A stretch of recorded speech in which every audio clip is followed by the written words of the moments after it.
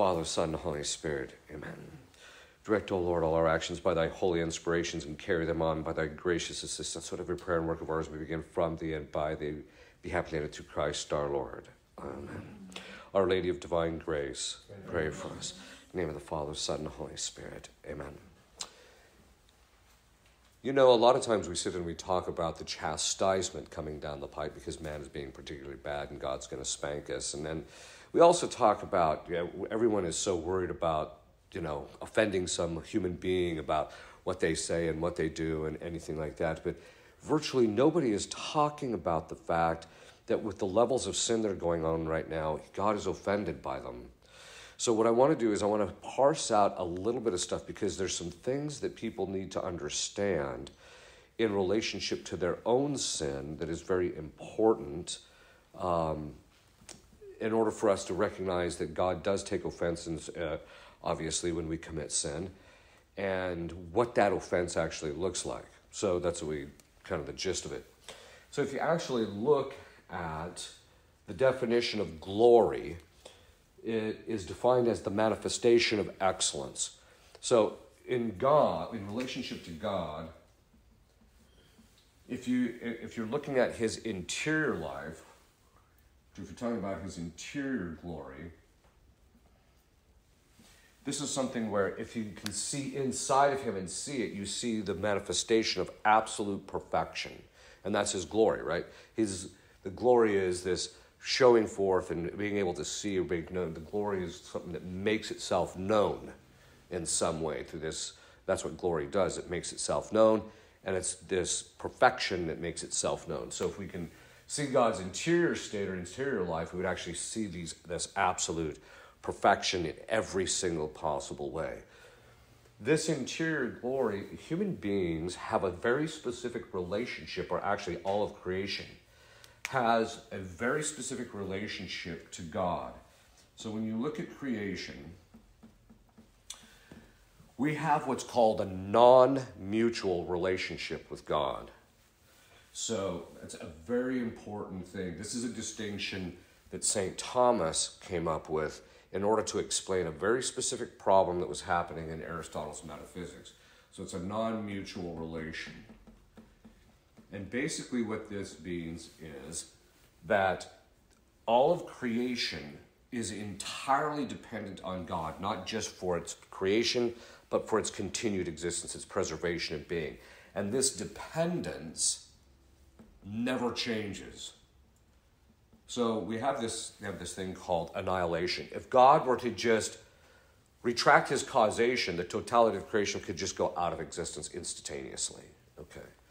So this relationship is on so on this side, the relationship depends upon God. And so in that particular sense, because we depend upon God, this particular aspect of our relationship is, is causal.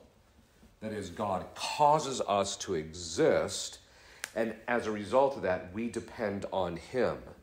However, because uh, we depend entirely on Him, and that we cause, uh, and that He causes us to exist, in relationship to God and creation, this is only what we call a relation of reason. What does this mean? It means that we are not capable of causing anything in God. So there's nothing we do that would change anything that would have to do with his intrinsic or interior glory. Sometimes this is called intrinsic. So there's, and because, whereas on the other hand, he causes all of us, and so everything that he, everything that he just thinks about us, he just has to think that we are a certain way, and boom, we are that way, right? We talked about that in another conference. But this basically means that there's this non-mutual relationship, and it's non-mutual because the causal, the causal, uh, um, uh, the causation is only in one direction, him to us, not us to him. And so when we talk about us having a relationship with God, it's technically speaking, uh, um, uh, it's technically speaking our dependence upon Him, not anything that we can actually cause in relationship to him. Now, basically, what this means is that in relationship to his intrinsic glory, absolutely nothing we do affects his intrinsic glory. Nothing.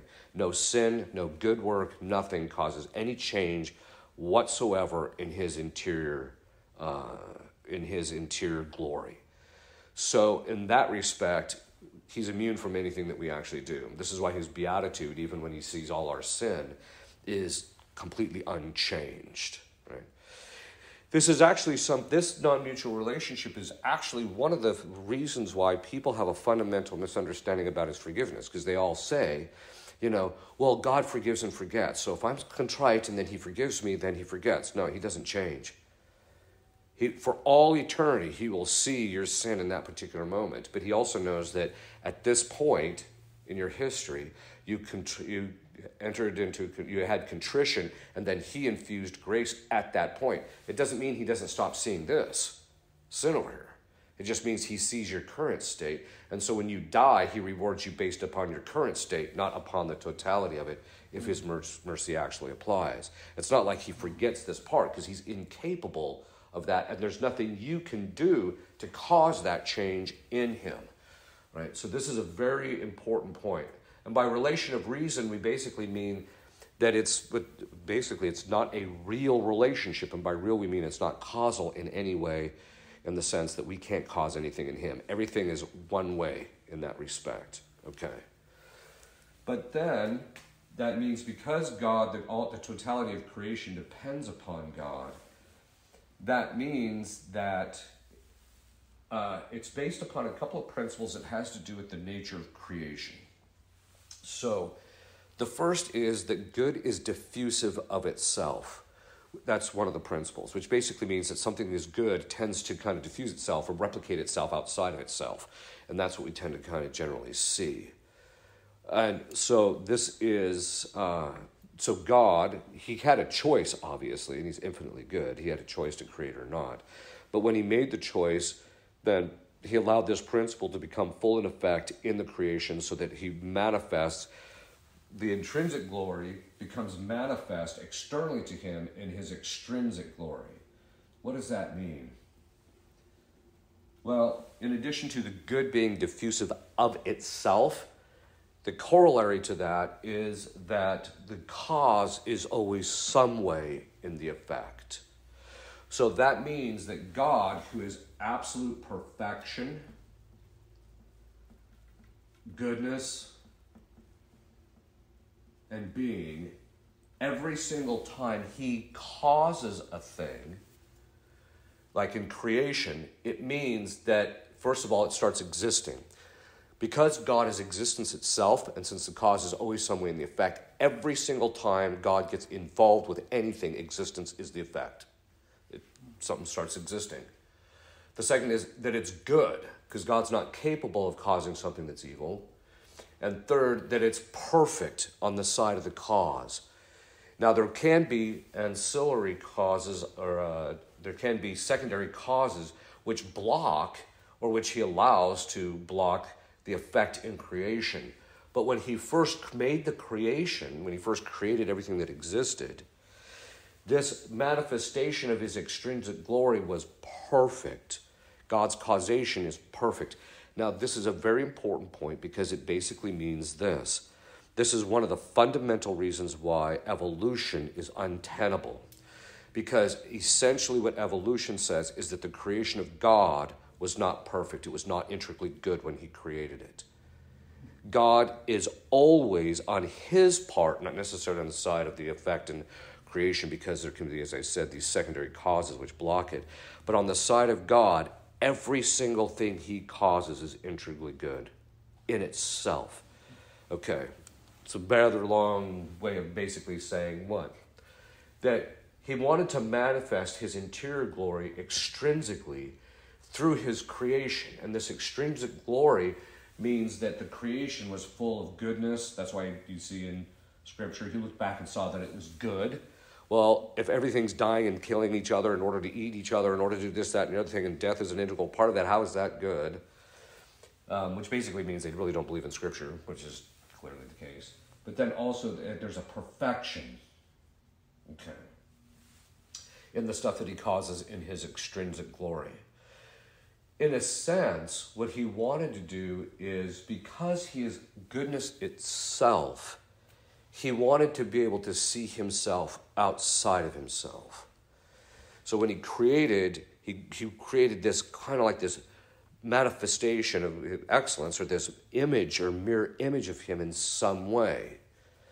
So one time, I this uh, when I had Beelzebub on the ropes one time, I said, you know, it must be pretty brutal for you because everywhere you look, you see him, don't you? And he said, yes, and that's why I want to destroy everything. So the point being is, is that when he creates these things, it's a manifestation of his intrinsic glory. So this extrinsic glory is the manifestation. And so that that if you look in creation, there's bits and pieces and facets of it that give us a sense to know what God is like. This is actually why we can have proof for God's existence. You can actually argue to God's attributes based on what you see in creation and how these things function. St. Thomas makes it clear, however, that the, the, um, the three persons of the Trinity, whenever they act externally, always act as a unified cause. And so we can't, uh, he said, it's not uh, the physical extrinsic glory, the, phys- uh, the creation, isn't sufficient to know that he's triune. There can be vestiges of it and that type of thing, but it's not enough to actually know it. Whereas we can know that God is omnipotent. Because to go from nothing to something is an infinite gap. And so only God can bridge that gap. Okay, so there's certain, so we know he's omnipotent, he's omniscient, uh, etc., because we can actually see that there is order and everything in this, and that the order, at least in the initial creation, was absolutely perfect. So there's a semblance of that there is no limitation on his knowledge. As I was mentioning uh, the other night at the dinner table, you know, everybody likes to think that they're really smart and that they, they actually know a lot of stuff. Uh, we don't know, hardly know anything. So if you, if you think about it, God actually knows at this very moment the actual location of every single electron in the entire universe at all times. He knows it at all times. We don't know any of it, right? So, okay, that all being said, this manifestation of his extrinsic glory means that he created this because he wanted to see himself outside of that. And so when he created it, because he is the cause of it, it's his property. He owns the creation, it belongs to him, not to any creature. That means that if you do anything to detract from this extrinsic glory, then it's a form of theft. You're essentially taking something from him and you have an obligation to pay it back. Now, I want to unpack that a little bit because this is one of the areas I was going to write an article, but I just decided to cover it today so that I don't have to take the time to write an article, although I might do that too. If you look Christ said, Be perfect as your heavenly Father is perfect. Obviously, what he's doing is look, you have to strive for perfection so that you can manifest God's extrinsic glory and fulfill what he wants in creation. Right? And we know that every time we commit a sin, we detract from this extrinsic glory because it's disordered. It causes a lo- it causes a loss of goodness or a loss of being, a loss of perfection in some manner every time we commit a sin. But one of the things that most people, Christ said, be perfect as your heavenly Father is perfect. Now, this is a divine precept. As part of the divine positive law, you are obligated to do so. You are obligated to strive for perfection. You may not fully reach it, but you have an obligation to continue striving towards that perfection. That means, for example, if I have a defect, there's actually two kinds of defects. If I have a defect for which I have been the cause, I'm the cause of the thing, then that's usually that defect is caused because of some sin, normally speaking. I mean, there can be some that are caused just by ignorance. But the point being is, is that I've caused something, and so I have an obligation, because I've detracted from his extrinsic glory, I have an obligation to, to repair the damage that I've caused. It's part of retributive justice. I've always found it interesting, I've mentioned this before in conferences, that millennials, will come up to you, right, and they'll borrow a tool of yours. And then when they bring it back, it's completely trashed. and then they'll just hand it to you and say, sorry, and then just walk off. No, sorry doesn't do it. See, what most people don't seem to realize is that in sin, there's two components. There's the sin itself, which is the disorder in the will.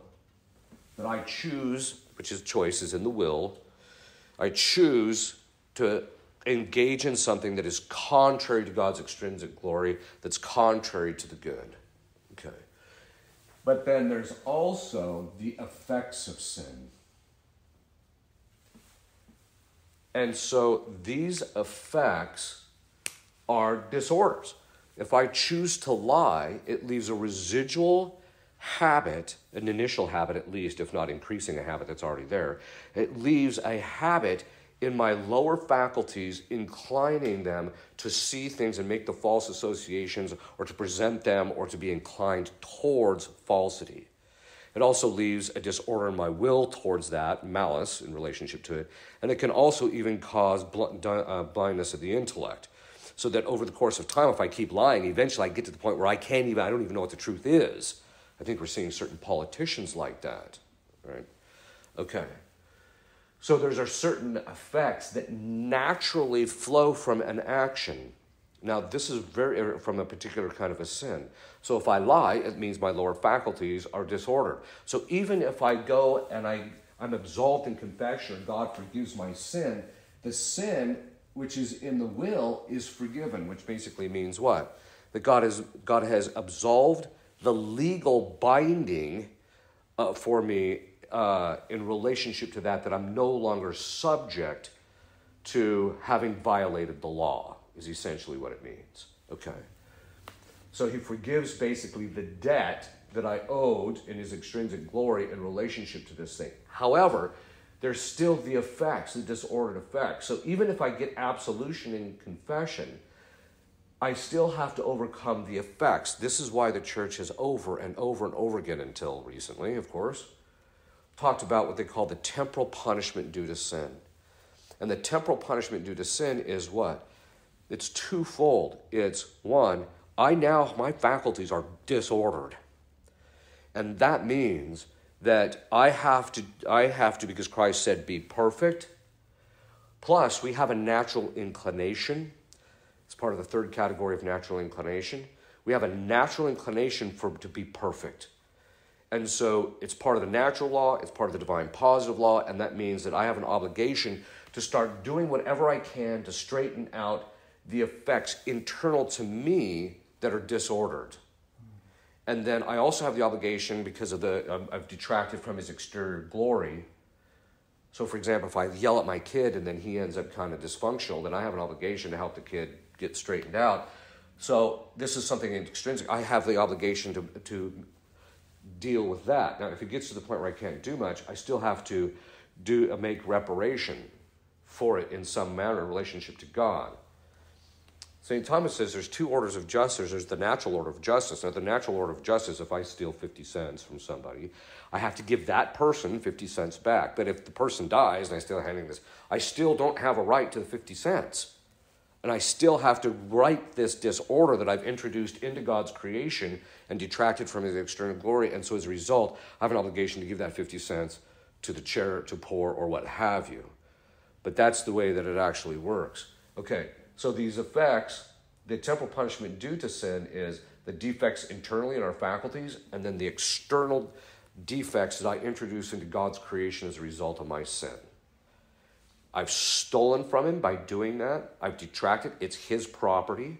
Even I'm his property. I have no right whatsoever to choose sin because it, I belong to him and he is perfection and he's told us this is what we have to do, etc. Um, through the natural law and the divine positive law. And as a result, I have an obligation that if there's any defect in me, to start taking reasonable means to overcome it. Why is this so important? Well, it's important because of this. I'm not sure if I'll edit this out. I might leave it in after what my archbishop keeps. He's, he's saying a lot of stuff, so hopefully it'll take some of the heat off of me. People have this idea. So the church came out in a document and it said the, inclina- the, the homosexual orientation is not sinful. No, okay, you have to understand exactly what they're saying. They said the homosexual orientation is not sinful, it's acting on the homosexual orientation that's sinful. Now, what they basically mean is that the sin is here in the will. That's what that distinction is absolutely true. But they left out a big part of the story. The big part of the story is that if I have a defect, then I have an obligation. So if, if a guy is has a homosexual orientation, if he says, "Well, if I if I'm if I have these you know uh, uh, gay orientation, as long as I don't act out, I'm, I'm okay," that's not true. What the truth is, you have an obligation to start working to remove that defect because just the orientation itself detracts from God's extrinsic glory. Just that disorder itself. It doesn't matter if you're the cause of the thing or not. It doesn't matter because it's it's basically similar to this. You know, I tell people, look at if you have a kid and he's one years old and he soils his diaper, you are in no position to stand there and say, well, I didn't soil the diaper, I don't have to clean it up. It's not as long as you know, as long as I don't do that, then I'm okay. That's not true. We have an obligation to clean up other people's messes under certain circumstances. So even if, so when I mention these defects, we can cause them ourselves through our own sin, but then also they can have defects that are caused by others in us. So, for example, when parents give the wrong formation or bad formation to their children, because the children if because the children are now responsible for themselves, which as we know from the third category of natural inclination, because they're responsible for themselves, they have to begin the process of cleaning it up. This was the biggest problem with the hippie generation who come in through, oh, it was my parents. Okay, let's just say, so it's all my parents' fault that I'm like this. No, it's your fault you're like this. It may be the case that your parents did something to cause this in you, or some other individual did this to cause in you. It does not mean that it's not your obligation to clean it up. You're a mess, and you have to clean it up. Because why? The divine precept and uh, of divine positive law precept be perfect as your heavenly Father is perfect. He's not talking about just in the will. We're talking about in all our faculties. Our obligation is to slowly fashion our faculties to get them in perfect congruity with right reason, illumined by faith, uh, basically, which is reorienting them to the beatific vision so that if the beatific vision were to occur, those faculties could would be rightly ordered in relationship to it. And if you don't do it now, that's why the church has the doctrine on purgatory. You have to get these things cleaned up before you're going to do that. Right? Okay. So, that being the case, and this is what I tell people look, if you, if you suffer from a homosexual orientation, I get it. You may not be the actual cause of it. I mean, they know the cause of it, they know what causes it. It's not the human genome, it's not born this way, etc. But, and we understand, psychologists know, they all when they say we don't know, they're not telling the truth. They actually do know what causes the homosexual orientation.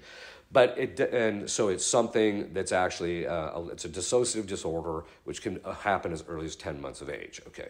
So that being the case, that's why people say I was always gay. No, actually, you weren't always this way. It just happened before your first memory. Right? Okay. So the point being is, is that the, uh, you might not have been the cause of this problem. It doesn't mean that it's not your obligation to clean it up. Because if you don't clean it up, then you become complicit in the existence of that defect in you, and that's sinful. Mm. This is something people don't seem to get, is the fact, and this is what I tell homosexuals. They'll say, well, being having a homosexual orientation isn't sinful. Well, now wait a minute. It depends. If you're talking about you didn't cause it and you've always fought against it and you've taken reasonable means against it, that's absolutely true. There's no culpability on your part and God is not going to uh, punish you uh, for having not overcome this thing as long as you've taken reasonable means. On the other hand, if you haven't taken any reasonable means to clean up this thing, you're complicit in this thing being there. and therefore you're willing to, you're willing, basically, let's put it this way, you're willing to allow the detraction from his extrinsic glory to continue without trying to take reasonable means to clean it up. And as a result, you're culpable for it. It's called a culpable defect, right? And so it doesn't matter that someone else caused it, you have an obligation to clean it up, right? And I don't think it's at all helpful that we have certain prelates in the church running around saying things like, you know, it's okay to be gay and gay marriage is true marriage. And that's not helpful at all to them because it's a disorder. And it confirms them in maintaining this uh, detraction from God's extrinsic glory. So there are certain defects. It, you might not be culpable for it first getting there, but you may become culpable if you don't take reasonable means once you realize, oh, I got to deal with this and I have to. Uh, take reasonable means in order to overcome it, right? And you and you don't do that, then then that's culpable. Okay. And it's sinful, by the way, as I mentioned, and the degree of sin is based upon the degree of the defect. If the defect inclines you towards something gravely disordered and you don't do anything about it, that's grave matter. Whereas if you if it's just something venial sin, like you, you tend to people call you on the phone, you find them annoying, and then you just do little white lies here. And okay, that's venial, but you have to stop that, right? And so if you and you have an obligation to start working on your faculties in order to come overcome that. But there's also another reason, and part of it is, is because as long as you have this defect, it means there's a weakness there and a tendency towards something that's sinful, and you run the risk of offending God in the future through sin. And this is and this is why we have it. We have to we have to do everything we can to make sure that we don't offend him. It's just part of um, it's just part of actual piety that we don't want to offend him, right? Okay. So when I started talking out about how this is uh, it's a lot of information, but I want to talk about this thing in extrinsic glory. There's absolutely nothing we can do to offend God in relationship to his intrinsic glory. There's nothing we can do in that, right? Because we can't cause it, we can't affect it. All that we can affect is the manifestation of his glory in his, in, his extrinsic glory. And because this belongs to him, every time we detract from it, he's offended. Now, what does it basically mean to be, offense, uh, be offended? It means you've suffered some form of injury. That's what that means. So when people say, Well, I'm offended that you use that word, oh, shut up. You're not offended at all. Offended would be as if I said something and somehow or another it caused trauma to you or it ended up causing you to lose your job or something like that, right? And so just the fact that you have a negative emotion from something doesn't necessarily mean it's offensive in itself. It means you've got a problem on your part, is what it also can mean. Okay. I'm not suggesting that you can't say things that are offensive to people. That's not what I'm saying, because that, it's ultimately about modesty, etc., decorum specifically. But getting back to this, it basically means that in relationship to his extrinsic glory, each time we commit a sin, we detract from his extrinsic glory and we offend him because we cause injury to his extrinsic glory. Every hmm. time we sin.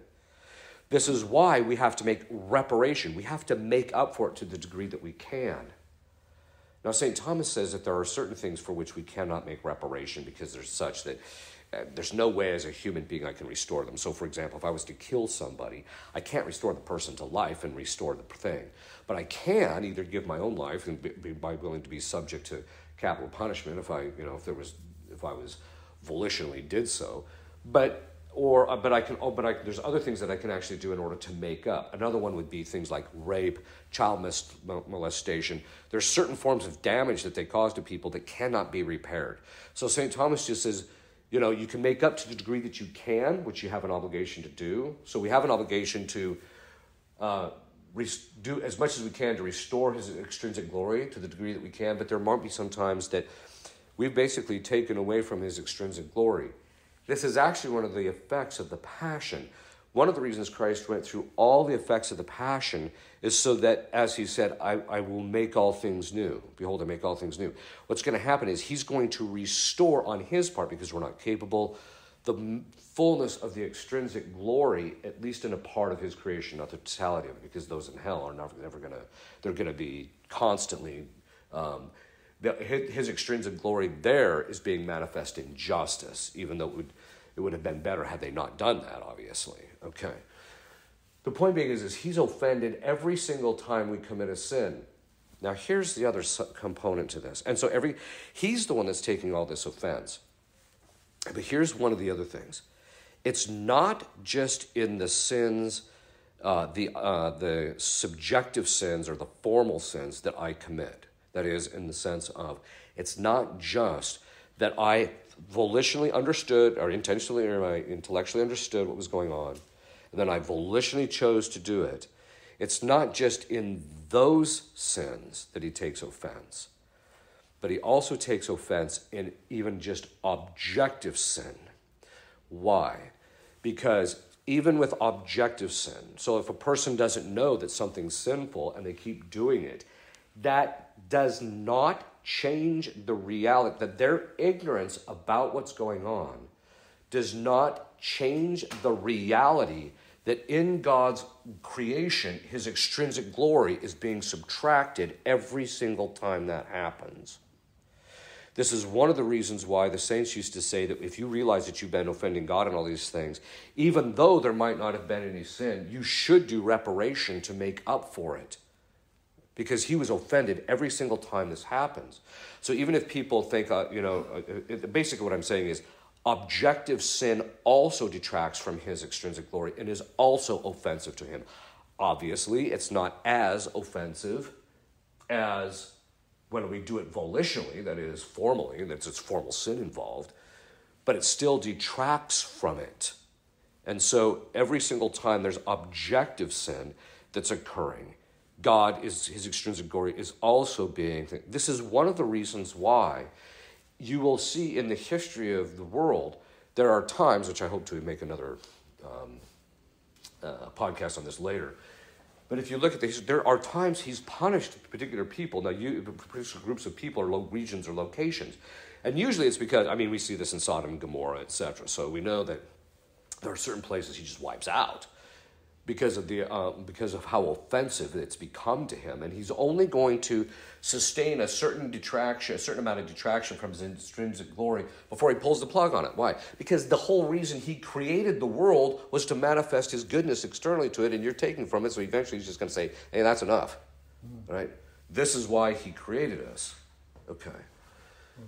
So be if you look at it, let's just say for the sake of argument, that worldwide, I think there's what, seven and a half billion people now? Seven billion? Okay. About eight, yeah, I think it's about it. So let's just say for the sake of argument that everybody on the planet only committed one venial sin a day. That means that God is offended, his extrinsic glory is detracted from 8 billion times a day just on a venial level, not even the mortal level. And it, the point being is, is that at a certain point, that the detraction from his extrinsic glory becomes so great that he has to have a great reset, so to speak. He's got to clean up the situation in order to get people back to where they need to be, if for no other reason than for their sake in seeing it. But I think that in my concern is, is that we spend all our time listening to people say, Well, I'm offended by that, and I'm offended by this, and I'm offended by that. That video by J.P. Sears, where he, it just goes around the table. Well, I'm offended that you're offended, and I'm offended that this is offended. And that's by the time, and he's just obviously making, making out how ridiculous it all is.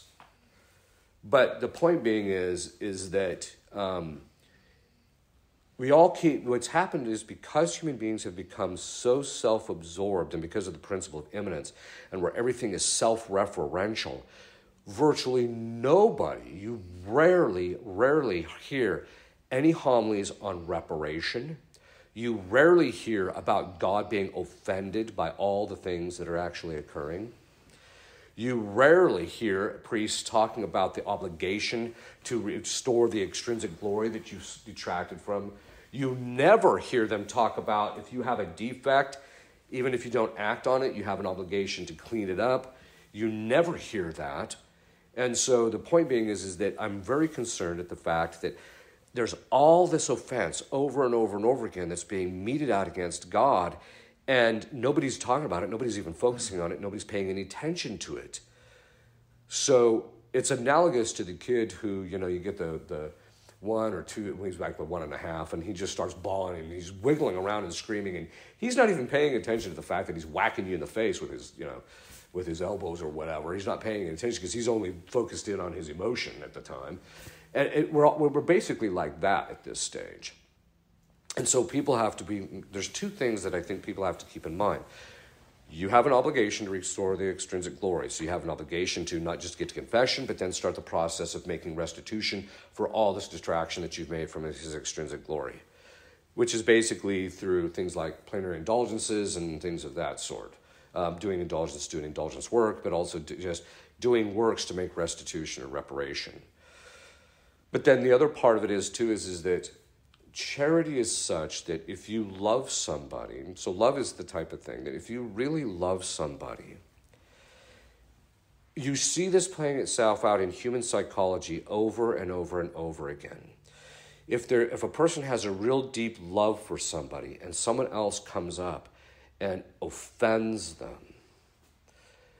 our love for that person is such that we don't want to see the person who we know is that good suffer underneath or to sorrow at being treated in that manner or being taken away or you know being offended in that manner suffering that injury. And so when we see if we, they do suffer an injury you'll actually see this like with husbands.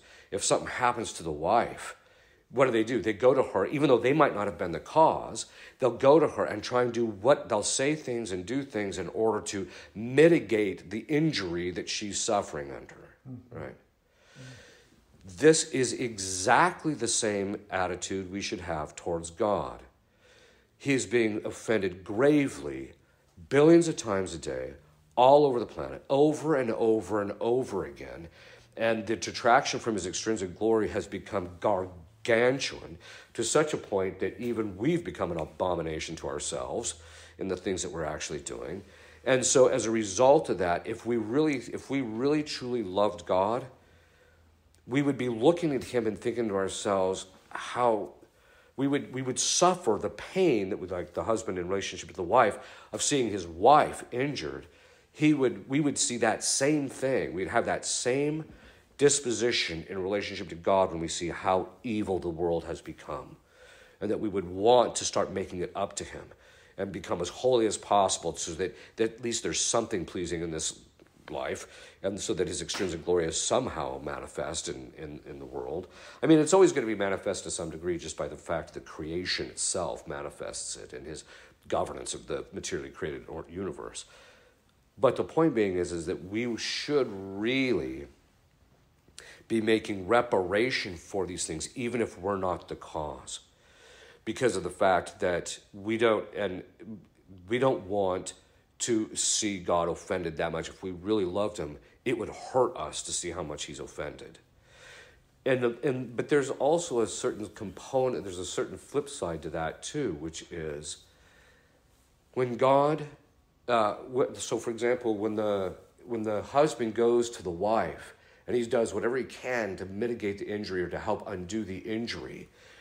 The normal attitude of the wife is to see that the husband is willing her good and therefore he loves her, and her natural response is to love him back in a deeper fashion. Right? It's the same thing with God. If we make reparation to God, He sees that we're trying to keep these things from happening so that He doesn't suffer this loss in relationship to His extrinsic glory. That because we love Him, we we, we, because he is so good and we love him that we want to see his extrinsic glory fully manifest, right? And as a result, when he sees us trying to make that reparation, his natural response is going to be, although I can't really say that in the strict sense of relationship to God, but his response is going to be to love us more by making the reparation. But this offense is something that we have to really be taking, you know, taking seriously. So, any questions? War. it uh, we live in an era where the, you know every single generation, if you look at history, like military warfare, and if you observe it, every generation of humanity there was a war. Yeah. And we have none of that. Not as it once was. We have war, but it's very minor compared to something great as it once was. And what in in some way war brought out, you know, chivalry, masculinity, authentic, and, and in of course countries that were Catholic and countries Right. that were even if it wasn't a justified war, there was something, however, that it kept humanity from becoming extraordinarily gay, transgender, and anything that you see is Yeah, I mean, when you're fighting for survival, the last thing you're going to be worrying about is your orientation. Yeah, but also there was faith, family, and culture these people fought for, even if Right. your leader was not moral. Right. But uh, in some way, it, it brought out, uh, I don't know, the, the world was not so. It is. I think, though, that what I mean, this is but purely my own speculation and opinion, but I think the reason why there's been kind of a cessation of any major war, there have been wars, but any major war, is because he's waiting for us because, well, let me back up. One of the things that has become clear to me is that if you look at the 1950s and all the moral perversity and depravity that was underneath the veneer of respectability and decency, because that was the generation where all the pedophiles and homosexuals got into the seminary, and that was the generation that started fornication in, your, in earnest, and that was the generation, you go down the whole list, right? That was the generation that once they got in power literally destroyed the church, right? Okay, so there was obviously something perverse and wicked about that generation. But I think that what's clear to me is, is that God retracted his grace at a certain point. and I think I know why. I'm not going to speculate about it. Uh, I, the point being is, is that I think that he's allowed the cessation of war to set us up for a bigger spanking. So I think that what's coming down the pike is going to make all of that look like child's play. I can't remember where Our Lady said it, or who said it, frankly. And I think it was Our Lady who said that the coming chastisement will be all it will be almost as great as the deluge, or greater than the deluge. I can't remember mm-hmm. exactly how she says it. And so we're we're looking at we're looking at a severe spanking. And I think we're just in that lull. He's setting us up. You can see it just by what our politicians are doing and all the treason that you see in our politicians, the fact that well, the spiritual chastisement always a, is always a precursor to the physical chastisement, and we're seeing that in the church. I mean, we have large numbers of bishops and cardinals running around saying that the gay lifestyle is perfectly fine. So this is this is a punishment that's coming down the pike.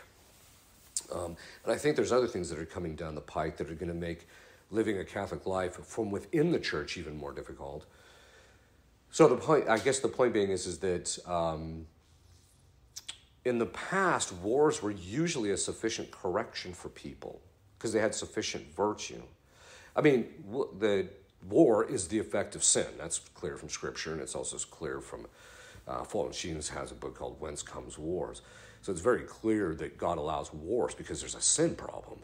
But usually, people haven't descended to our level of depravity, which is why even if there's a horrific war, I'm not so sure people will get their act together. So, yes. How, how, uh, as, um, the kind of people we are right here, how do we, when scandal happens in the church, when we, when these things just come out like daily, you know? Yeah. How, how, uh, how do we interior, what, how do you, uh, what are we to do? Are we to just say, oh, well, it's just the way it is? You know, or how, what is our, um, need for peace of mind? Right. to try to live our daily duty as a normal human being in a crazy world. How, Well, there's two parts to it. One is I do have two conferences, one on passive scandal and one on active scandal, and that basically it doesn't matter what people do, it should have absolutely no impact on our interior life or our faith specifically. Um, part of it is too is, is to realize what God is showing us right now is this is what humanity becomes when there's no grace. This is this is what we are. This is what we descend to. And so we just have to realize, okay, this is humanity laboring under original and actual sin, and this is if God doesn't kind of keep us, sustain us, and keep us floating, and, and uh, rather than just letting us sink. There's that element. But the real thing, and this is something that I'm not going to mention his name, but there was a cardinal that I was around about, um, oh, I would say about nine months ago. And you could tell he had a deep love for the church, and the fact that it was so bad in the church, you could see weighed on him. He was willing to suffer. In other words, it but what it made me realize is that he has a true love. If we have a true love for the church and a true love for um, God, etc., um, we have to be willing to suffer the emotional pain of these things, if for no other reason to keep ourselves rightly ordered. So we have to be willing to embrace our cross but it also means that what really should be paining us is not the fact that we don't have people in the church who are confirming us in the church and its teachings and helping us to lead holy lives. That shouldn't necessarily be the primary thing that hurts us, although it should that that should be something that pains us. What should be pained is how God is, suff- is suffering injury in his extrinsic glory in all this. He's the one that is primarily the one that suffers the primary injustice, the primary injury. And so there should be, um, if we love him as much as we really should, it's like I said in a relationship with the husband of his wife, if something happens to his wife, it's painful for him to first recognize it and see it. And so once he does it, so he embraces the, the reality of that, and then he does what he can to mitigate it. And that's what we should be doing. So our interior disposition should be really one of willing to suffer whatever He wants to send our way, but at the same time to be willing to um, to do whatever we can to mitigate uh, His loss of extrinsic glory, to make reparation for it. I have a question. Is there a is there like a hierarchy of efficacy in regards to doing acts of reparation? So, for instance you know, I, I do reparations for, you know, my own sins and for the sins of my family, which I'm responsible, you know, for them. Uh, if I step outside of that and I do acts of reparation for sins that I know of right. outside of my own responsibility, is there a is there a, a, a lesser efficacy there? Uh, you know, is it a better thing to say to challenge somebody and say, hey, you should really be doing reparation for this um, because my reparation is less efficacious? Um, uh, yes, there is. Part of it is based on the principle of proximity. So we have a primary obligation um, to uh, make reparation in relationship to those for ourselves and for those who are proximate to us, and then as we go out. Um, but then, of course, there is, if a person has gotten to the point where they've overcome most of their own defects and they're still kind of chiseling away at it, etc., sometimes, you know, supererogatory is what they used to say it, is that you would actually kind of go a bit above beyond what you're obligated to do and just do a reparation for other people. Now, there's a distinction though that needs to be made. The reparation that you make for, say, someone who's not as, proximate is less likely to have an impact or to restore that aspect of the extrinsic glory because of its remoteness. However, it doesn't mean, though, that your own interior advance in holiness is less. But you want you, the main thing you want to do is make reparation for your own sins and the sins of your own family. And, which actually brings up a point. The, the principal way we make reparation is so this is the this is the structure. The primary way you make reparation is you go to confession and get the sin absolved, so that there's no legal, there's nothing legally between you and God that would keep you apart from each other. Then the next one is is correcting your own faculties. That's your next form of reparation right? Because that's what you're going to spend time in purgatory for. Or, and then after that, what external things that you've actually caused, and then to other people in our family, etc. So it goes down the chain. But in purgatory, you have to make up. Um, if you have any venial sin, you've got to be purged of that. But it's also, but it's primarily the interior. Um, uh, our defects, our personal defects, and what we didn't clean up in our own lives. So if we really work on those, then what will happen is is that and it, just by doing that we're also doing a good act which means if we're in the state of grace we can actually be meriting a higher place in heaven etc or at least restoring the place of heaven we should have had um, and then so but at the same time it's we're, we're correcting the primary things and that's where we're going to see the most effect of our actions. Well, um, I, I don't know, like certain people that come into your life and they're loaded with problems, and somehow, you know, they take interest in you. I've had this before, and they just, uh, you know, and, and then you ask yourself, did God send them in my life for a reason for me to try and draw them to Him, or just because of how bad they were, I kind of had a tendency to just kind of ward myself off and just say, well, you know, okay, you, but not really get involved and try. But then I think, well, maybe I should have given more time to that person. Maybe I should have done this, or Maybe. I, I don't know. Well, I I'm think not a priest. I'm not a psychiatric. You know, kind of. Well, there's two parts to it. One is uh, we always they always say tend your own foxhole first. That's how I. Yeah, fight your own battles first, and then you can help other people fight their battles. But even those aren't. There's some people you can you're you're capable of helping them fight their battles, and those people their battles are just too big, and you better be, you better bail. They usually been huge and think, oh. I don't- Yeah, you're seeing people more and more. Um, you're seeing people more and more just with gargantuan problems. I mean, just huge. The other thing is, is that um, I'll mention this now since it, it's kind of here. One of the effects of sin, one of the temporal punishments due to sin, is empowering demons in your life or in the lives of the world, in the lives of others and in the world. So every time you commit a sin, you're letting them in, right? And um, one of the things that uh, we, we have to realize is that a lot of times just doing basic elementary spiritual battle, you know, beating them up and booting them out and keeping them at bay is itself a form of reparation. Because you're getting them out of his creation, that is the material creation, and so God's extrinsic glory is going to be restored to some degree. And that's one element of reparation that a lot of people tend not to make, I think. Father, um, how does the, the lack of honoring the Blessed Mother, like the Protestants or all these religions that don't, you know, really, you know, recognize her for who she is? I mean, how does that fit into this offended God as far as this, you know, this external glory and that kind of thing? Is it a s- kind of a more special case? Kind of, in the sense that um, Our Lady's part of creation, and she is uh, probably she not probably she, other than Christ's humanity, she is the greatest manifestation of His extrinsic glory. Oh, okay. And That's so, right, and there's different facets to her. So because because she has so many different perfections, that's why she has so many different titles, and why God wants to draw attention to her under a variety of different aspects, as Our Lady of Sorrows, our Virgin Most Prudent, or you know, Help of Christians, or whatever. She's he's there's a variety of different perfections that she has, and he wants to draw attention to those.